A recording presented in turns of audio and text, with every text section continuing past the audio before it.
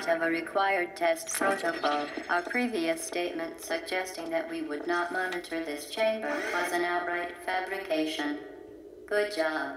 As part of a required test protocol, we will stop enhancing the truth in three,